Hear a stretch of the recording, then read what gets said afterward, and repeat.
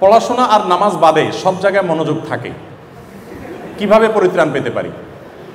পড়াশোনা আর নামাজ বাদে সব জায়গায় মনোযোগ থাকে। ভালো বলছেন। এই দুইটা ছাড়া আর সব জায়গায় মনোযোগ থাকে, তাই না? কেন এই সমস্যা হয় ভাই? খুব সংক্ষেপ করে যদি বলি, আমার হাতে সময় নেই। এটার অন্যতম কারণ হলো সোশ্যাল মিডিয়া এবং স্মার্টফোনের এডিকশন। এই আসক্তিটা হলো অন্যতম প্রধান কারণ। দেখুন সোশ্যাল মিডিয়ার আসক্তি থাকবে আর জীবনে আপনার দ্বারা বড় কিছু হবে। জাতি, মুসলিম মিল্লাতের কোনো কল্যাণ সাধন করবেন। অসম্ভব। এ দুইটা একসাথে সম্ভবপর হয় না। যারাই পৃথিবীতে চোখ দিয়ে দেখার মতো, আঙ্গুল দিয়ে দেখাবার মতো বড় কোনো কাজ করেছেন, আমি দায়িত্ব নিয়ে বলতে পারি, আপনি তাদের লাইফ আপনি স্টাডি করে দেখেন, তারা কেউ এ জাতীয় কোনো আসক্তিতে পড়েন না, এগুলো থেকে তাদেরকে বাঁচিয়ে রেখেছেন।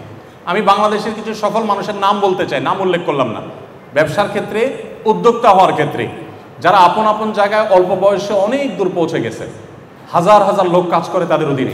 তাদের প্রত্যেকটা প্রতিষ্ঠান গেইন করেছে, অনেক ভালো ভালো জায়গায় চলে গেছে। তাদের মোবাইলে সোশ্যাল মিডিয়ার অ্যাপগুলোই নেই। বাংলাদেশের প্রথম সারির একটা ব্যবসা প্রতিষ্ঠান। সিরিয়াল করলে এক থেকে পাঁচের ভিতরে থাকবে। আমি নাম বললাম না। এরকম একটা ব্যবসা প্রতিষ্ঠানের কর্ণধারের সাথে একটা বৈঠক ছিল আমার। তো সেখানে আমাকে যিনি নিয়ে গেছেন, উনি এক্সপেক্ট করেছেন এবং আমারও এক্সপেক্ট ছিল যে আমাকে তো চিনবেই। ইউটিউব ফেসবুকে আমাকে দেখার কথা। তো আমরা সেখানে কর্ণধার, বাপ, বেটা ওনাদের সাথে মিটিং করলাম। শুরুতে বসলাম, আমাকে খুব ভালো করে পরিচয় করে দিতে হলো, যিনি নিয়ে গেছেন তিনি। ভদ্রলোক আমাকে কোনোভাবে চিনলেন না। পরিচয় দিকে প্রসঙ্গত বললেন যে, আপনি হয়তো ওনাকে চিনে থাকবেন। আমার কথা বললেন যে, আপনি হয়তো ওনাকে চিনেন।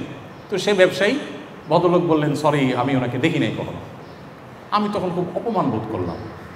যে আমাকে দেখে নাই ফেসবুক ইউটিউবে আমাকে দেখে নাই, কেমন কথা? কি লোকটা আমাকে পাত্তা দিতে চাচ্ছে না নাকি? আমি খুব মানে মনে কষ্ট পাইলাম। পরে উনি বললেন যে সরি আসলে আমার মোবাইলে কোনো এই ফেসবুক ইউটিউব বা এই জাতীয় কোনো অ্যাপ ট্যাপ নাই। তখন আমি তার প্রতি শ্রদ্ধা অনেক বেড়ে গেল আমার। যে এই জন্যই তিনি এত বড় ব্যবসায়ী হতে পেরেছেন এবং এতগুলো সফল প্রতি ভালো প্রতিষ্ঠান করে করতে পেরেছেন এবং অনেক ব্যবসায়ী ব্যবসা করতে গিয়ে তাদের অনেক দুর্নাম থাকে, এরকম কোনো দুর্নামও নাই, এত ভালো কিছু করতে পেরেছেন বোধ হয় এই কারণেই যে এগুলো তিনি নিয়ন্ত্রণ করতে পেরেছেন, তার জীবনে বরকত হয়েছে। এই জন্য যে ভাই বলেছেন, নামাজ এবং পড়াশোনা মনোযোগ আসে না। আমি আপনাকে বললাম আপনি মোবাইল ফোন নিয়ন্ত্রণ করেন। আমি কোনো স্কুলের প্রোগ্রামে গেলে ছোটো ছোটো বাচ্চারা যদি আসে, দৌড়ায় আসে, আমাকে বলে, আপনাকে আমি চিনি, আপনার নাম অমুক না। তখন আমি বাপমা থাকলে বাপমাকে ডেকে আনি। এনে বলি যে, এই বাচ্চা আমাকে চিনে, এটা খুব খারাপ জিনিস। আপনি মনে, অনেক বাপমা এসে বলে যে, ও কিন্তু আপনাকে চিনে আপনার কথা শুনে সব সময় মনে করে এটা শুনলে আমি খুশি হয়ে যাব পাম্পটি দেয়।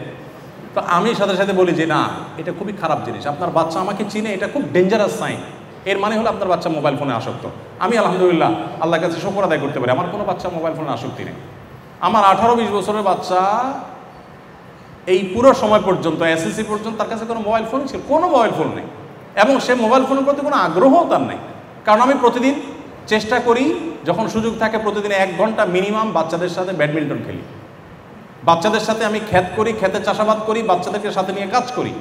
আমি বাচ্চাদেরকে সময় দিই, আমার বাচ্চা মোবাইলের দিকে আসক্তি নাই। যারা মনোযোগের অভিযোগ করছেন, প্রত্যেককে বলব, মূল জায়গাটা হলো আমাদের সোশ্যাল মিডিয়ার এডিকশন এই আসক্তিটা যদি আপনি নিয়ন্ত্রণ করতে পারেন, আপনি দেখবেন নামাজে মনোযোগ আসছে, আপনি দেখবেন পড়াশোনায় মনোযোগ আসছে, আপনি সব বাদ দিয়ে ফেলান, দেখবেন ইনশাল্লাহ অটোমেটিক মনোযোগ আসছে। আল্লাহ তালা তফিক দান করুন।